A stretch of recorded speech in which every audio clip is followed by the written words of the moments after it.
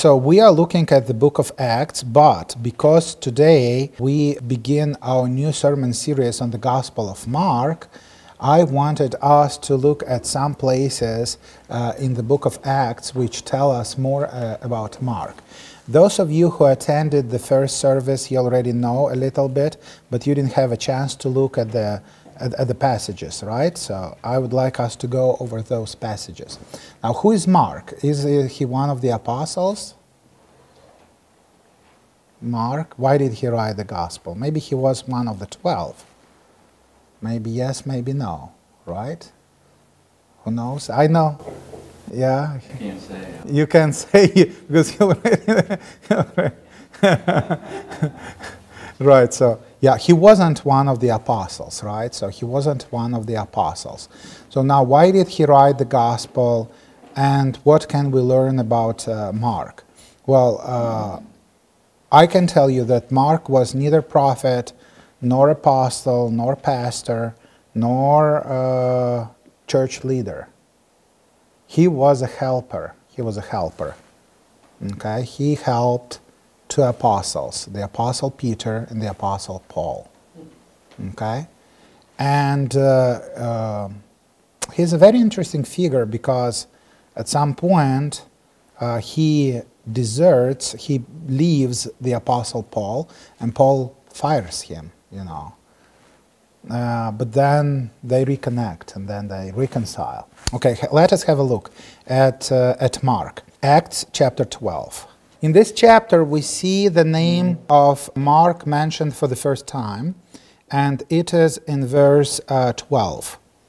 When he realized this, he went to the house of Mary, the mother of John, whose other name was Mark, where many were gathered together and were praying. So, this is the first mention of Mark. Uh, what is the context? Uh, if we go to verse 1, uh, we can see can, can someone read? Uh, Marv, can you read it for us? Oh, no, you don't have. Do you have the text? You don't. Yeah, I can read it. Y- yes. yes, now we need a gift of interpretation. Right, right. gift of interpret. Let me interpret. And that would be me. That, that, that would be me. About that time, Herod the king laid violent hands on some who belonged to the church. And it looks like the church has already existed in Jerusalem for some time, for years. Uh, he killed James, the brother of John, with a sword. And uh, James, um, James uh, is uh, one of the twelve. Did you find it? I did. Uh, okay, so he was one of the twelve. Uh, so he is the first apostle who is killed, James. So he's not the first martyr. We read in the book of Acts about Stephen, but he wasn't one of the twelve. So James is the first one, James, the brother of John. John, uh, the apostle who wrote the Gospel of John, who wrote the book of Revelation, right? His brother was killed, executed. Uh, and it was done by Herod.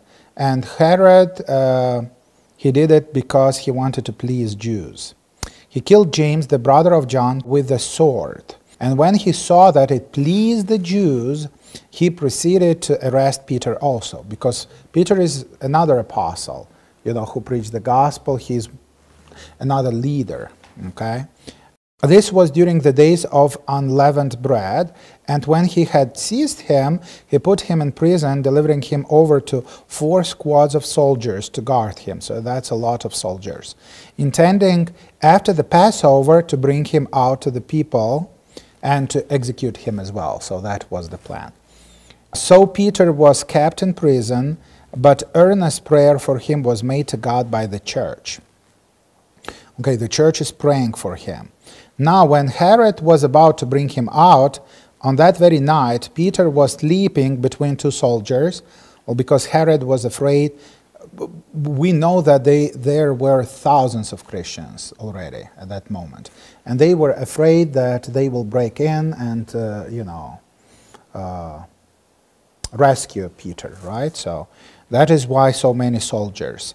And Peter was sleeping between two soldiers, bound with two chains, and sentries before the door were guarding the prison. And behold, an angel of the Lord stood next to him, and the light shone in the cell. He struck Peter on the side and woke him, saying, Get up quickly. And the chains fell off his hand. And the angel said to him, Dress yourself and put on your sandals. And he did so. And he said to him, Wrap your cloak around you and follow me. And he went out and followed him. He did not know that what was being done by the angel was real. He thought it was a vision. He thought, because it's night, you know, what is happening? But thought he was seeing a vision. When they had passed the first and the second guard, they came to the iron gate leading into the city. It opened for them of its own accord, and they went out and went along one street, and immediately the angel left him. When Peter came to himself, he said, Now I'm sure that the Lord has sent his angel and rescued me from the hand of Herod and from all that the Jewish people were expecting, so his execution. So when he realized this, he went to the house of Mary, the mother of John, whose other name was Mark, where many were gathered together and were praying. And when he knocked at the door of the gateway, a servant girl named Rhoda came to answer. Recognizing Peter's voice, in her joy, she did not open the gate, but ran in and reported that Peter was standing at the gate. They said to her, You are out of your mind. But she kept insisting that it was so, and very often here uh, commentators would say, well, they gathered to pray for him. Now, when God delivers, they don't believe that it happened, right? You're out of your mind, you know. So, why are you praying in the first place, right? So, that's a good question. So, but Peter continued knocking, and when they opened, they saw him and were amazed. By motioning to them with his hand to be silent, he described to them how the Lord had brought him out of the prison. He said, Tell these things to James. Now, this is a different James. This is half brother of Jesus, James, uh, and he is the leader of uh, the church in Jerusalem. And to the brothers, then he departed and went to another place. So, Mark is not important at all at this moment, right? So, we know his mom, his mom Mary, and there are many Marys in the Bible and in the church, and they used his name just to say which Mary, you know, the mother of John, whose other name was Mark. So then, what we see in the next chapter, we see that now that there were in the church at Antioch prophets and teachers, Barnabas, Simon, who was called Niger, Lucius of Cyrene, and Saul. Saul is Paul. While they were worshiping the Lord and fasting, the Holy Spirit said, Set apart from me Barnabas and Saul to the work to which I have called them. They came to Jerusalem to bring uh, um, money from the church in Antioch. The church in Antioch sent some money to Jerusalem. So uh, at the end of chapter 12, verse 25, Barnabas and Saul, they returned from Jerusalem when they had completed their service, and their service was to bring money uh, to the church in Jerusalem because they were, uh, they were um, starving. Okay? So, and this is what we see. They had completed their service, bringing with them John, whose other name was Mark. Okay, so now we see that John is in Jerusalem. His mom is active in the church. Uh, John is a young guy. John or Mark, you know, Mark is a young guy, and uh, he listens to Peter. He has heard the message of the apostle Peter multiple times, right? So now Paul comes to Jerusalem and Barnabas. And when they leave, Mark joins them, and now he goes to Antioch. Now, why he goes to Antioch? because Barnabas is his cousin. They're related. And they are from the tribe of Levi. They were, were helpers at the temple. Okay? So he, we see the role of Mark is helper. He's helping uh, Peter, he's helping Paul, then he's helping Peter again, and then he's helping Paul again. So, yeah, now when we go to chapter 13, we can see that uh, the church in Antioch sent, so it's verse 2, while they were worshiping the Lord and fasting, the Holy Spirit said, Set apart for me Barnabas and Saul for the work to which I have called them. And uh, this is first missionary trip of the Apostle Paul. He uh, made uh, three trips altogether. This is his first trip. Okay, and they go to uh, Cyprus. They go to Cyprus and uh, they uh, meet a lot of resistance. Uh, so, um, for example, uh, let us go to verse 8. Uh, but Elymas the magician, for that was the meaning of his name, opposed them, seeking to turn the proconsul away from the faith. He was called the son of the devil, the enemy of all righteousness, in verse 10. So there is a lot of opposition. It doesn't go well. And at this moment, Mark deserts them. He leaves them. It doesn't go well. At the end of chapter 15, here we can see uh, that Mark is mentioned again.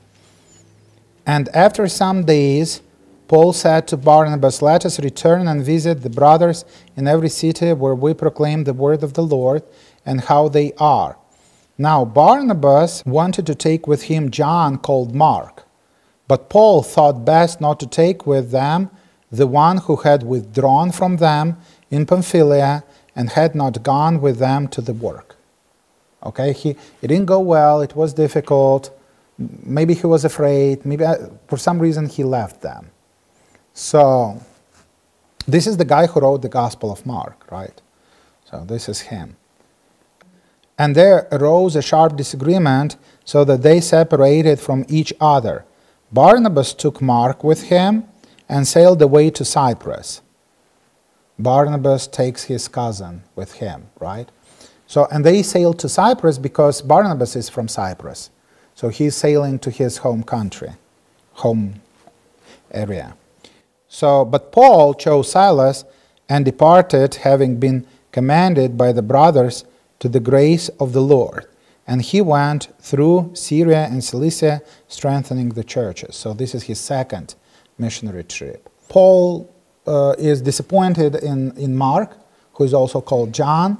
Uh, but when we look at what happened to uh, Paul in Rome and uh, uh, his relationship with Mark in Rome, we can find out something interesting. Paul was arrested two times in Rome. One time he was arrested and released, and second time he was arrested and executed. Okay, so when he was arrested for the first time, he wrote letters to Colossians, Ephesians, uh, yeah, those letters. And when we read uh, his letter to Colossians, if you open Colossians chapter uh, 4, verse 10, can somebody read it for us? Aristarchus, my fellow prisoner, greets you, and Mark, the cousin of Barnabas. Concerning you, have received instructions. If he comes to you, welcome him. Yeah, something changed, right? He is with me. He is now with Paul. He is serving him again. Ten years later, after that argument, when, when Paul didn't want to take him with uh, take Mark uh, with him, so ten years later, we see that he is with Paul. He is helping him. This is the first uh, imprisonment of the Apostle Paul. Second one, when he was executed, he wrote Second Timothy. Let us uh, open Second Timothy, chapter 4, and it's uh, verse 9 through 11. Who, who can read it for us? Did you find it? Second Timothy? Do your best to come to me soon, for Demas, in love with this present world, has deserted me and gone to Thessalonica Okay, Crescens has gone to Galatia, Titus to Dalmatia. Luke alone is with me. Get Mark and bring him with you, for he is very useful to me for ministry. Okay, you see? So now he's very useful for my ministry. You can see from this fearful guy who was afraid, you know, all the difficulties and opposition, who abandoned the Apostle Paul. Now he is reformed. Now he is with Paul when Paul is arrested for the first time. Now he's with Paul when Paul is arrested for the second time. So, and he, Paul wants Timothy and he wants Mark, both of them. Okay. And Luke, who is the author of the Gospel of Luke, is already with him. Right? So, okay, so where was Mark for those 10 years prior to uh, when we hear about him, like uh, in, in Colossians chapter 4? First uh, arrest of the Apostle Paul. So he is in Rome and he is with Peter. He's with Peter. Let us look at Peter. First Peter chapter 5, verse 12 and 13. Who can read it for us? By Stephanas, a faithful brother, as I regard him, I have briefly written to you, exhorting and declaring that this is the true grace of God. Stand firm in it. She who is at Babylon, who is likewise chosen, sends you greetings, so does Mark. Okay, so uh, Babylon uh, is Rome. It's a code word for Rome. And persecutions of Christians have already started. And of course, Peter didn't want to say, well, Rome. You know, he uses this code word, says Babylon. So, but it's Rome. She who is in Babylon, it's the church, the church of Rome. And sends you her greetings, and so does my son Mark. We see Mark was with Peter. Church history tells us that he was Peter's translator and interpreter. He knew Latin, Peter didn't. So when you are in Rome, he was helping him with, you know, preaching and translating, you know, the message. So now let us put together all these pieces and let us see what we know about Mark now. Who would like to summarize it for us?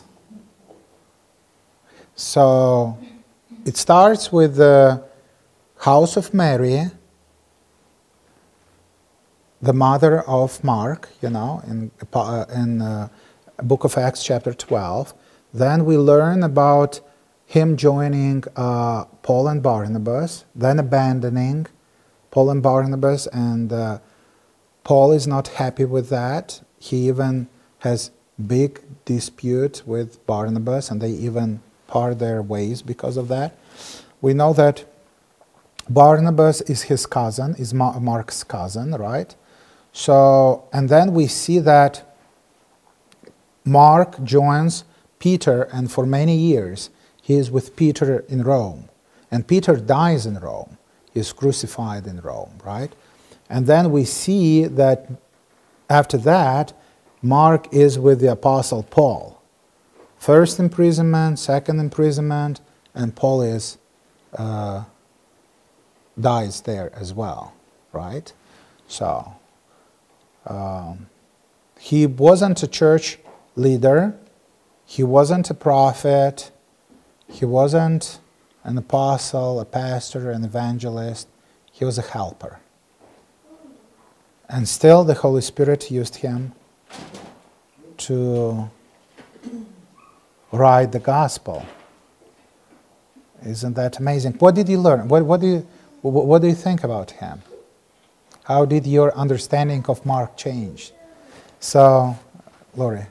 I didn't realize that Barnabas was his cousin. Yeah, I remember when we talked why they had the dispute, and we thought maybe Barnabas was uh, uh, kind of like more teacher or you know and paul was more like no he's not useful in my ministry i don't want him and so we, we were trying to figure out why barnabas wanted him. Yeah but they are related he's his cousin. Uh, uh, mark he was young you know he was like a teenager mm-hmm mm-hmm with no path that's that's right you, you mean what so he just tagged along Probably, yes. That's very interesting that he decided to join Barnabas and go to this Antioch and then, you know, to go on that missionary trip. But then he returns back to Jerusalem. And Peter is still in Jerusalem. And then we see him with Peter in Rome already.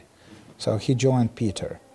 He must have heard Peter many, many, many, many, many times.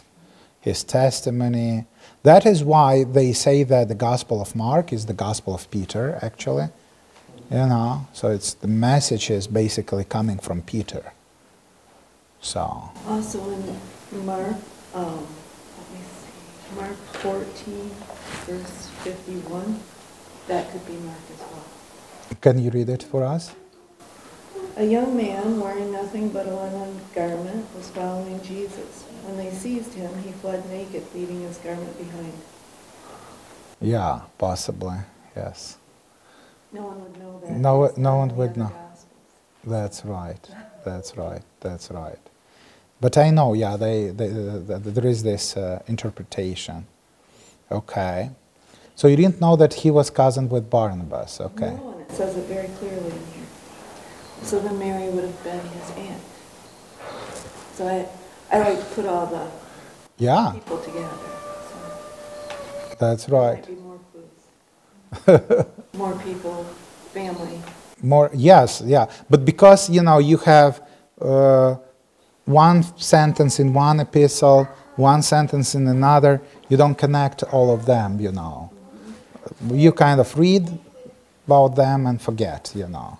So it's, it's very good to have a look at all the places, then you have like a better picture. Okay.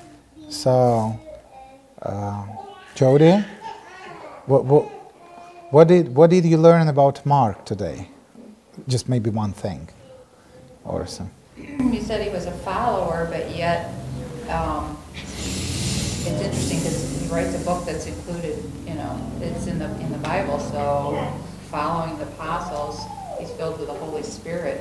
So obviously you don't have to be a, a pastor or somebody chosen. You have the Holy Spirit, you, you have, there, you have a little, but not power, but influence. Yeah. um, Isn't that to be able amazing? To make a difference. Yeah. Some commentators call him an ordinary person. He was just like, you know, he wasn't like within the church, he wasn't like someone big or famous. He was an ordinary a helper and still still he was able to mm, he was chosen by God, you know, to do this job, you know. And he did it. You you reminded me uh, uh, some uh, verses that you are one body, but for one another you are members.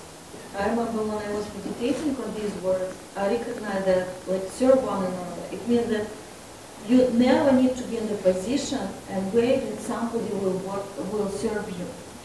You, you, if you are in the Christ body, you need to find something and to serve to one another, to, you know, and when I see this is a huge uh, uh, ministry, what Mark did, you know, because a lot of pastors, a lot of evangelists, a lot of people who devoted their life to God, they need Someone who would help. help them.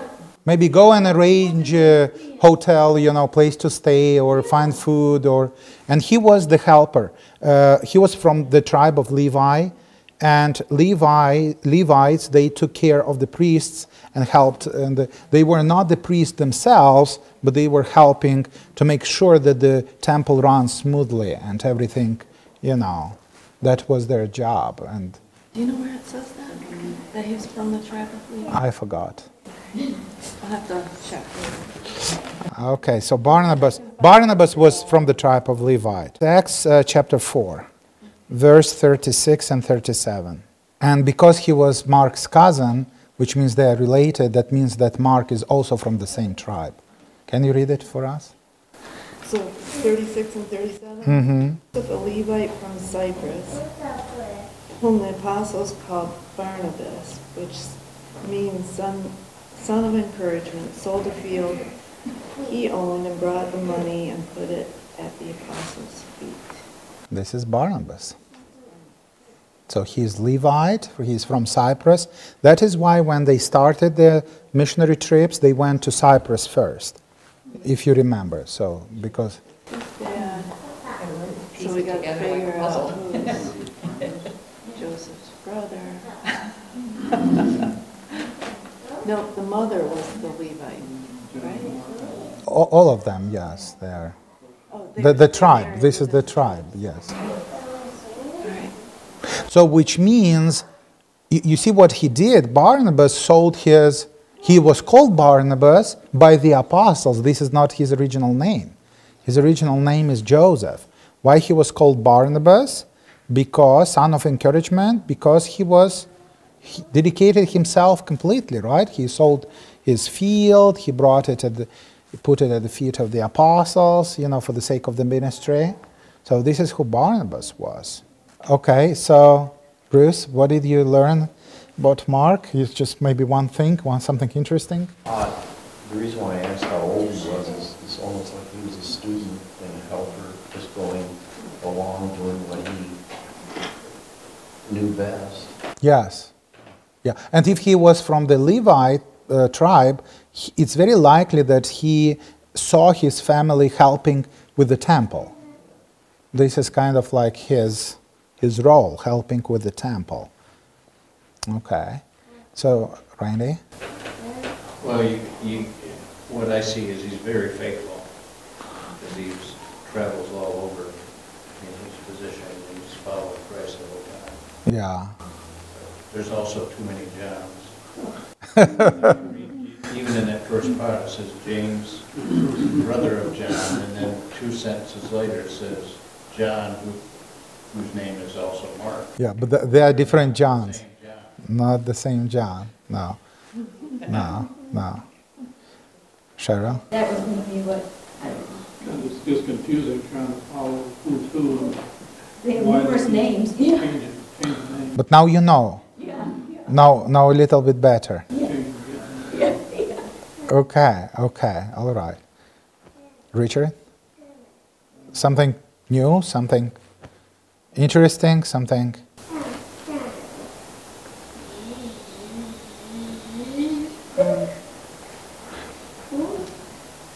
No, nothing in particular. Did you? wh- wh- What I find interesting, what Jody mentioned, that he wasn't like something. He's not was not that famous or important, and God still used him. And you see, there are only four gospels that were written. So later they would try to produce pseudo gospels, false gospels, you know, written by Gnostics, which are completely different, like Gospel of Thomas, Gospel of Peter, so which was not written by Peter at all. So, and God chooses Luke, Mark, and Matthew, and also John to write those four gospels. You know, Jesus himself doesn't write anything, and Mark is the least important out of the four. So, and God still uses him. He's useful in my ministry. Which means if you are not a preacher, because or if you are not, you know, someone who can speak the word of God boldly, but you still can help and contribute to the ministry, is an important role as well. I think that's that's big lesson, right? Even if you are young. Kevin, Kristen. I'm just excited that we're going to be doing Mark for the sermon, uh, yeah, for the sermon series, because Mark was written for the Romans show, and shows Jesus as a man of action. Very the narrative is very action oriented, quick paced. It's shorter, but especially there's a lot of spiritual warfare in Mark, where every constantly Jesus is casting out demons, and it's good for today because of all the craziness going on to encourage believers. We don't have to be afraid because Jesus has omnipotent power. We just watched a service yesterday on live stream from uh, John Ramirez, who's a Baker Bookhouse author in California. Mm-hmm. I mean, he cast out tons of demons from these people yesterday, and it was very moving. And it was in California, but it was live mm-hmm. streamed. These people were delivered in Jesus' name. Very simple. And so this is still going on today, so it's, it's very reassuring for us that it's not, it's not on us at all, and Jesus is still acting in power in massive ways. So Mark is going to be great for all of us to, to see those examples. so. Okay. Mark too, because it is an example that there's no excuse not to get involved in the ministry. Zero. Because he wasn't highly skilled, he wasn't exceptional, but look at, he ended up writing part of the Bible. So there, Mark is a great example. There's no excuse not to become part of a ministry. Yes. Can be a part of it, And the person can do great things. right? Yes. With the help of the Lord. Yes. That's right. That's right. Tatiana? Oh, you, you already. Uh, for American people, it's very easy to understand John or Mark, it's easy because they have middle name. We don't have middle names. We don't have middle names. Where we're coming from, we don't have middle names. So that is why Actually, uh, after uh, when Soviet Union collapsed, they, they started. Uh, even three names. Yeah, yeah, yeah. They started reintroducing, but under the Soviets, we Five, no, we had uh, our dad's uh, patronymic. Yeah, we, we never used middle name, but your dad's name, you know. But this is not middle name; it is patronymic. This is the name of your dad. So this is what Yeah, it's like a little bit confusion with John, more. Mark. Think about this as a middle name. His middle name. Do not have problem. So so, okay, Robin. Mm, I think that for me, he's, um, he represents, um, he's been called, he's called by different people, he's called to different things, to remain humble. Um, He didn't feel he needed to leave, but he didn't, he he truly was committed to the Lord and trusted wherever he was put and wherever he was called by. He didn't have any problem moving in and out of that. Mm. So I think that just speaks a lot to, um, we never know where we'll be or what we'll be asked to do. Yeah. And be ready. Amen. Amen. Kirk. Um, I think, um, part of this too was at the very beginning where he disappeared, you know, where he left um, the ministry. I mean, I think this shows that we can all do that, there's not compassion. That's right. That's right. That's right. We might be absent from vis- visibility, but we could literally be working on another, Right. you know, we, we could be growing in our faith. So he demonstrates that faith, he never questions. Yeah, but he also coming coming back to specifically to Paul to work with Paul, right? So, yeah, Because I'm sure Mark knew that Paul didn't like him. yeah, yes, yeah. he knew. And so then as, maybe as a young man, he then had to go to a, his mentor that doesn't like him, right? Uh huh. Not really mentoring at that point, but, um, you know, and potentially suffer it out for a while on, uh, Paul's good graces. Yes, yes, yes. Bob. Well, uh, pretty much everything I heard today is new to me. I, um, uh, you know, I was uh, born Lutheran, baptized as an infant, confirmed in the church in the eighth grade. That's probably, um, although I was always went to church and read the Bible, the, I've never been to a Bible class after confirmation. So for my uh, awareness, you know, I had a really, really strict Lutheran minister, and everything we did was rote memorization. So my past familiarity with Mark was, as I was reciting the books of the Bible, he came second, right? Matthew, Mark. Uh, Yeah, and as far as I knew, you know, as a young guy reading the King James Version, which I didn't really understand, um, he was one of those old guys with a long beard and probably long hair, and he'd get in trouble with the Romans once in a while. I don't know. I never really studied who these people were. The Bible, we read the Bible, but in terms of who they were, their perspectives, where they came from, the culture, it's sort of new to me in this church, and so it's very rewarding to hear these things. So pretty much everything that was said is new for me. Okay, praise the Lord, praise the Lord. So, Vlad, everybody, okay. So let us pray.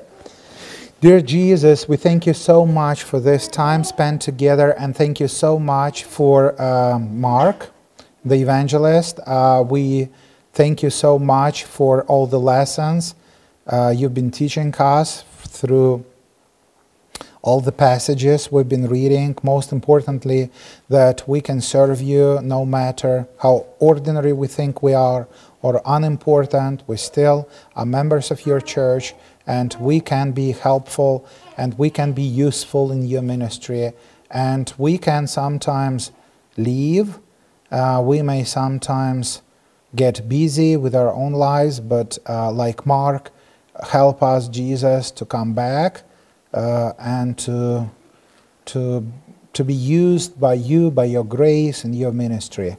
In your name jesus we pray. Amen